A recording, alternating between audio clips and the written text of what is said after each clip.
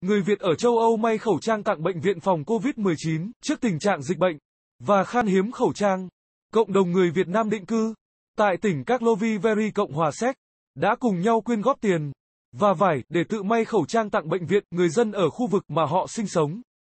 Chị Nguyễn Thúy Nga là người Việt Nam định cư tại Cộng hòa Séc 18 năm thông tin kể từ khi Cộng hòa Séc áp dụng kiểm soát biên giới với Đức và Áo để phòng ngừa dịch COVID-19 lây lan người ra đường không đeo khẩu trang sẽ bị phạt một khoản tiền tương đương khoảng 20 triệu đồng.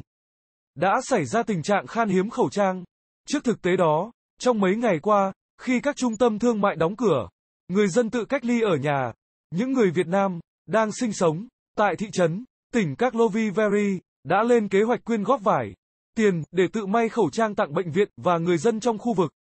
Theo đó, những người biết máy may đều mang vải về nhà rồi mượn máy may để may khẩu trang. Khẩu trang được thiết kế đúng quy cách của bệnh viện nơi họ tặng. Chị Nga cho biết, việc may tự may khẩu trang đang được nhân lên bởi cộng đồng người Việt Nam sống rải rác ở trên toàn lãnh thổ đất nước này.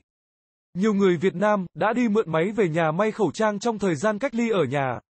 Những khẩu trang màu được tặng cho người dân ở các siêu thị.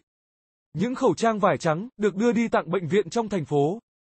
Đã có hàng trăm người tham gia việc này. Riêng nhóm mà chị tham gia, chỉ trong ngày hôm qua 20 tháng 3, đã có gần 500 khẩu trang được tặng cho bệnh viện tại một số siêu thị. Nhiều người dân ở đây rất vui mừng, họ còn xin cho người nhà. Chị Nga thông tin thêm, ngoài hoạt động may tặng khẩu trang, các nhóm còn kêu gọi ủng hộ tiền lên đến hàng trăm triệu để bệnh viện thành phố ứng phó với dịch COVID-19. Hy vọng quý vị cho một lượt thích để ủng hộ tôi mới đi học đọc về xong. Trân trọng cảm ơn quý vị và các bạn đã quan tâm theo dõi. Xin hãy cho một lượt thích chia sẻ và đừng quên bấm nút theo dõi kênh xin chào và hẹn gặp lại.